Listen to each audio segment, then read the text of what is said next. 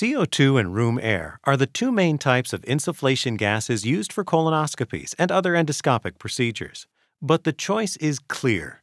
Carbon dioxide, or CO2, decreases patient discomfort during and after a procedure. Conversely, room air as an insufflation gas leaves patients with uncomfortable abdominal pain and lasting distension. 20 years of studies have proven that CO2 absorbs quickly into the body, 150 times more quickly than nitrogen in standard room air, and is 25 times more soluble than room air by blood and tissue. Room air can leave patients feeling uncomfortable for up to 72 hours, while CO2 is absorbed by the colon and excreted through the lungs in just 30 to 60 minutes after a procedure. The rapid absorption properties of CO2 keep abdominal distension pain to a minimum, aiding in a faster recovery. The UCR is Olympus's solution for taking advantage of all the benefits of CO2.